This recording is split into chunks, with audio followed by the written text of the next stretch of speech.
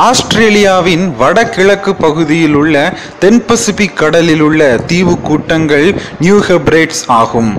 இத்தீவுகளில் வாழும் மக்கள் பதினெட்டாம் நூற்றாண்டு வரை மனிதர்களை கொன்று தின்னும் நரமாமிச பட்சினிகளாகவும் சமுதாயத்தில் அதிகம் பின்தங்கியும் வாழ்ந்து வந்தனர். இவர்கள் மத்தியில் சுவிசேஷம் சொல்ல சென்ற ஜான் வில்லியம்ஸ் என்ற மிஷினரியை அடித்து கொன்று அம்மக்கள் தின்றுவிட்டனர் அவரை தேடி வந்த மக்களிடம் அவரிடம் அவரது எலும்புகளை மட்டும் கொடுத்தனர். ஆயிரத்தி எண்ணூற்றி முப்பத்தி ஒன்பதாம் ஆண்டு நவம்பர் மாதம் நடந்த இந்த நிகழ்ச்சி உலகத்தையே அதிர வைத்தாலும் பிரிட்டிஷ் ஸ்காட்லாந்து தேசத்தில் வாழ்ந்த கிறிஸ்தவ வாலிபர்கள் மத்தியில் ஒரு பெரிய சவாலை ஏற்படுத்தியது. பன்னிரண்டு வாலிபர்கள் அதே பகுதிக்கு நாங்கள் மிஷினரிகளாக செல்வோம் என்று எழுந்து நின்றனர். அவர்களில் ஒருவர்தான் ஜான் பேட்டன். ஸ்காட்லாந்து தேசத்தைச் சேர்ந்த இவர் ஆயிரத்தி எண்ணூற்றி இருபத்தி நான்காம் ஆண்டு ஒரு எளிய கிறிஸ்தவ குடும்பத்தில் பிறந்தார். தெய்வ பக்தியுள்ள இவரது தந்தை ஒரு வியாபாரி. இவரது வீட்டில் பரிசுத்த அறை என்ற ஒரு அறை இருந்தது. அதில் ஒரு நாளில் மூன்று முறை இவரது தகப்பனார் சென்று தனது குடும்பத்திற்காகவும் ஸ்காட்லாந்து தேசத்திற்காகவும் ஜெபித்து வந்ததை பார்த்த ஜான் பேட்டன் தானும் ஜெபிக்க ஆண்டவருடன் நெருங்கி ஜீவிக்க கற்றுக்கொண்டார். இவரது தாயும் விசுவாசத்தில் உறுதியுடன் தனது பிள்ளைகளை ஆண்டவருக்காக வளர்த்து வந்தார். ஒரு நாள் பேட்டனின் தந்தை வியாபார விஷயமாக வெளியூருக்கு சென்றிருந்த போது வீட்டில் இரவு உணவு இல்லாத நிலை. அந்நேரத்தில் பேட்டனின் தாய் பசியுடன் இருந்த பிள்ளைகளை அழைத்து தங்களது தேவைகளை பரமபிதாவிடம் சொல்லி ஜெபித்துவிட்டு சீக்கிரமே படுக்கைக்கு அனுப்பிவிட்டு காலையில் உங்களுக்கு தேவன் உணவு தருவார் என்று உறுதியளித்தார். அடுத்த நாள் காலையில் இவர்களது வீட்டின் முன் உணவுப் பொருட்களால் நிரம்பிய ஒரு வண்டி நிற்பதை பார்த்து ஆச்சரியமடைந்தனர் பிள்ளைகள். அவைகள் தங்களது அன்றைய தேவைக்கென அறிந்து தாத்தா அனுப்பி வைத்தது என்று அறிந்து கொண்டனர்.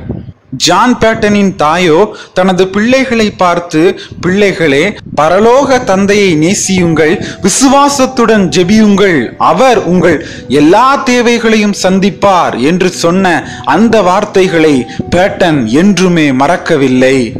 தனது குடும்பத்தின் வறுமையின் காரணமாக பேட்டன் தனது பனிரெண்டாம் வயதிலேயே பள்ளி படிப்பை விட்டுவிட்டு தனது தகப்பனாரின் வியாபாரத்தில் உதவி செய்ய வேண்டியதாயிற்று. இந்நாட்களில் இவர் இயேசு கிறிஸ்துவை சொந்த இரட்சகராக ஏற்றுக்கொண்டிருந்தார்.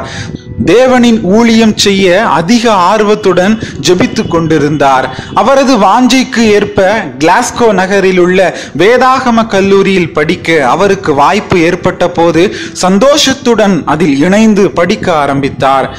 படிப்பிற்கான செலவினை இவரே ஒரு பள்ளியில் ஆசிரியராக பணிபுரிந்து அந்த வருமானத்தால் கட்டினார். கல்லூரியில் வேதத்துடன் மருத்துவத்தையும் கற்றார். கல்லூரிக்கு அருகிலுள்ள பகுதியில் சமுதாயத்தில் பின்தங்கிய மக்கள் மத்தியில் ஊழியம் செய்தார். பலர் கிறிஸ்துவை ஏற்றுக்கொண்டனர். அதில் குடிகாரர்களும் ஒழுக்க நெறியில் தவறினவர்களும் அடங்குவர். பத்து வருடங்களாக அழியும் ஆத்துமாக்களை குறித்த பாரத்துடன் இருக்கிற இடத்தில் ஊழியம் செய்த பேட்டனுக்கு மறுமலர்ச்சி அடைந்த பிரிஸ்பிட்டேரியன் சபையைச் சேர்ந்த ஒரு மிஷினரி நியூ ஹெப்ரைட்ஸ் தீவு கூட்டத்தில் வாழும் ஆதிவாசிகள் பற்றியும் அவர்களது மத்தியில் பணிபுரியும் மிஷினரியுடன் சேர்ந்து பணிபுரிய ஒரு வாலிபன் தேவை என்று பகிர்ந்து கொண்டபோது ஆவியானவர் பேட்டனிடம் பேச ஆரம்பித்தார். இந்த மிஷனரி பணிக்காக உன்னை அர்ப்பணி என்ற மெல்லிய சத்தத்தை தெளிவாக கேட்க நான் செல்கிறேன் என்று அர்ப்பணித்து எழுந்து நின்றார். நியூகபிரேட்ஸ் தீவுக்கு மிஷினரியாக செல்ல போகிறேன் என்று தனது நண்பர்கள் சபை உறுப்பினர்களிடம் பகிர்ந்து கொண்டபோது பலர் இவரை சோர்வடையச் செய்தனர். ஒரு வயதானவர் சொன்னார் வாலிபனே அங்கு போகாதே உன்னை நரமாமிச பட்சினிகள் தின்று விடுவார்கள் என்றார். அவருக்கு பேட்டன் சிரித்துக்கொண்டே பதில் சொன்னார் வயதானவரே நீர் இறந்து கல்லறையில் அடக்கம் செய்யப்படும் போது உம்மை புழுக்கள் தின்னும். நான் தேவ பணி செய்து நரமாமிச பட்சினிகளால் தின்னப்பட்டாலும் சாதாரணமாக இறந்து புழுக்கள் என்னை தின்றாலும் வித்தியாசம் ஒன்றும் இல்லையே என்றார். பேட்டனுடைய பெற்றோரோ சந்தோஷத்துடன் அவரை மிஷனரி பணிக்கு அனுப்பி வைத்தனர்.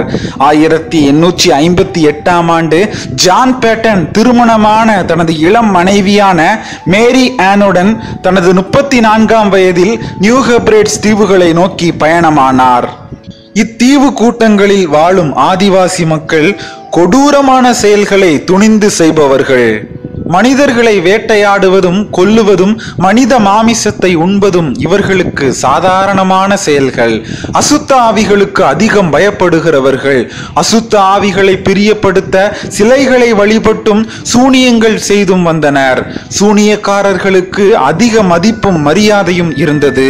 இயற்கையான மரணத்தை நம்பாத இவர்கள் ஒரு நபர் மறித்துவிட்டால் அவர் மறித்ததற்கான காரணத்தை அறியும்படி சூனியக்காரர்களை அழைத்து குறி இருப்பார்கள். இறந்த நபருக்கு பகைவன் யாராவது இருந்தால் அவனது பெயரை குறி சொல்லுகிறவன் சொல்ல உடனே அவனை கொன்று விடுவார்கள். கொல்லப்பட்டவனின் குடும்பத்தினர் அவர்களுக்கு விரோதமாக எழ இன்னும் பல கொலைகள் தொடரும். இப்படி இயற்கையாக மறித்தவனின் மரணத்தால் பல கொலைகள் விழும். கணவன் இறக்கும் போது மனைவியின் கழுத்தை நெரித்து கொன்று கணவனுடன் புதைத்து விடுவார்கள். வயதானவர்கள் வீட்டுக்கு பாரமாகும் போது தடியால் அடித்தே கொன்று விடுவார்கள். இவர்கள் இயேசு என்ற நாமத்தை கேள்விப்படவே இல்லை.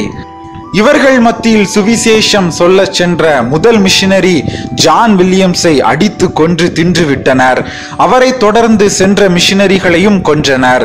சிலரை விரட்டி விட்டனர். ஜான் பேட்டன் இவர்கள் மத்தியில் பணிபுரிய வந்தபோது இரண்டு மிஷினரி குடும்பங்கள் அதிக எதிர்ப்பின் மத்தியில் ஊழியம் செய்து சிலரை ஆண்டவருக்காக ஆதாயம் பண்ணியிருந்தனர். தானா என்ற தீவும் சுவிசேஷம் வளர விடாமல் அதிக எதிர்ப்பு தந்த ஒரு பகுதி. இங்கிருந்த சூனியக்காரர்கள் சுவிசேஷத்திற்கு அதிக தடை செய்தனர். புயல் வெள்ளம் வறட்சி போன்ற இயற்கையின் சீற்றங்களுக்கு மிஷனரிகள்தான் காரணம் என்று அவர்களை துன்புறுத்தவும் கொல்லவும் முயற்சி செய்தனர். இவர்களது மொழிக்கு எழுத்து வடிவம் கிடையாது. பேட்டன் முதலில் சைகையில் பேசின மொழியை கற்றுக்கொண்டார். பணித்தளம் வந்து ஒரு வருடத்தில் இவர்களுக்கு ஒரு மகன் பிறந்தான். குழந்தை பிறந்து மூன்று வாரமான போது இவரது மனைவி விஷக்காய்ச்சலில் பீடிக்கப்பட்டு ஆயிரத்தி எண்ணூற்றி ஐம்பத்தி ஒன்பதாம் ஆண்டு மார்ச் மூன்றாம் தேதி இறந்து போனாள். ஒரு வாரத்தில் குழந்தையும் இறந்து போனது. தனது கையாலே தனது மனைவி மற்றும் பிள்ளையை குழி தோண்டி புதைத்தார்.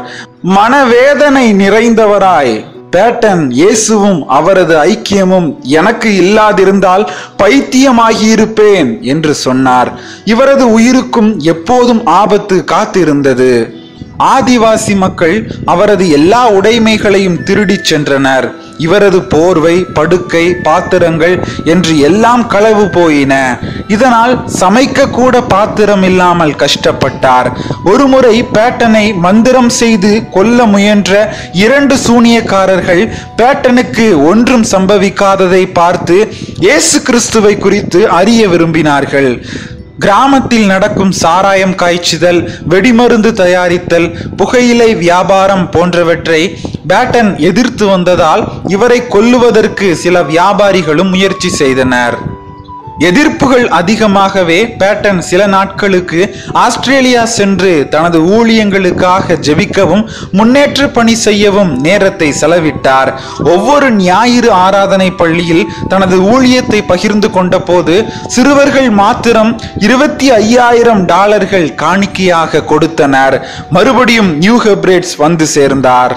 இந்த முறை தானாவுக்கு அருகில் உள்ள அனிவா என்ற தீவில் பணிபுரிய ஆரம்பித்தார். இங்குள்ள மக்கள் இவரை அன்புடன் ஏற்றுக்கொண்டனர்.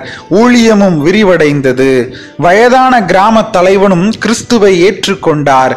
மக்களுக்கு ஆடை அணிய சொல்லிக் கொடுத்தார். படிப்பின் முக்கியத்துவத்தை உணர்த்தினார். ஏழு மைல் நீளமும் இரண்டு மைல் அகலமுமான சிறிய அனிவா தீவு முழுவதும் ஆண்டவரிடம் வந்தது. அனிவா தீவில் குடி தண்ணீர் இல்லாததை அறிந்து பேட்டன் மக்களின் உதவியுடன் கிணறு வெட்டினார். பூமியின் கீழிருந்து தண்ணீர் வருவதை ஆச்சரியத்துடன் பார்த்த மக்கள் பூமியின் அடியிலிருந்து மழை பெய்கிறது என்றனர். தண்ணீரை எடுத்து சுவைத்து பார்த்த தலைவனும் தனது மக்கள் அனைவரையும் இயேசு கிறிஸ்துவை பின்பற்றவும் தங்களது எல்லா விக்கிரகங்களையும் எரித்து புதைக்கவும் உத்தரவிட்டான். ஆயிரத்தி எண்ணூற்றி தொண்ணூத்தி ஒன்பதாம் ஆண்டு பேட்டன் அனிவா மொழியில் புதிய ஏற்பாட்டை மொழிபெயர்த்து வெளியிட்டார். பத்து வருட கடின உழைப்பிற்கு பின் பல தீவுகளில் சுவிசேஷம் வேகமாக பரவியது. இவரது தீவிர முயற்சியால் இரண்டு அனாதை விடுதிகள் பல ஆலயங்கள் பள்ளிகள் கட்டப்பட்டன. பெண் குழந்தைகளுக்கென தனி பள்ளியும் அமைக்கப்பட்டது. சமுதாயத்தில் குற்றங்களும் கொலைகளும் தீமைகளும் குறைய ஆரம்பித்தன.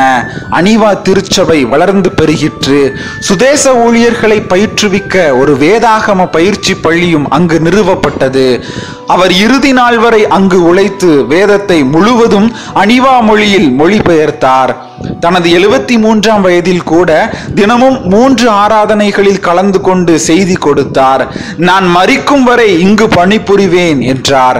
அநேக ஆதிவாசிகள் தேவனிடம் திரும்புவதை தனது சொந்த கண்ணாலே கண்டு ஆயிரத்தி தொள்ளாயிரத்தி ஒன்பதாம் வருடம் ஜனவரி இருபத்தி எட்டாம் தேதி தனது எண்பத்தி மூன்றாம் வயதில் மறித்தார் மிஷனரி பணிக்காக முற்றிலும் அர்ப்பணிக்கப்பட்ட ஜான் பேட்டன் வாழ்வின் மூலம் மனிதர்களை கொன்று தின்ற மக்களும் மாற்றப்பட்டனர். மரணம் இழப்பு கடின சூழ்நிலை எதுவும் அவரது அர்ப்பணிப்பை அசைக்க முடியவில்லை. இதை கேட்கிற சகோதரனே சகோதரியே தேவ பக்தியுள்ள குடும்பத்தில் வளர்க்கப்பட்டு மிஷனரியாக பின் நாட்களில் புறப்பட்டு சென்றவர் ஜான் பேட்டன். நீயும் ஒருவேளை தேவ பக்தியுள்ள குடும்பத்தில் வளர்ந்து கொண்டிருக்கலாம். தேவனுடைய சுவிசேஷ பணியை செய்வதற்கு அழைப்பு இன்றைக்கும் உனக்கு கொடுக்கப்படுகிறது. தேவனுடைய சுவிசேஷ பணியை தேவன் காட்டும் இடத்தில் செய்வதற்கு நீ ஆயத்தமா? கிறிஸ்துவின் அன்பு உன்னை நெருக்கி ஏவவில்லையோ?